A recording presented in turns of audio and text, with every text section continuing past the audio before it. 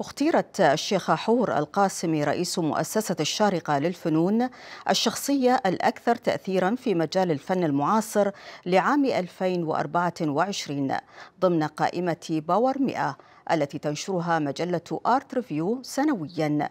تكريما واعترافا بالجهود الدؤوبة لشخصيات أسهمت في تطوير الفن وأحدثت تأثيرا عالميا فيه.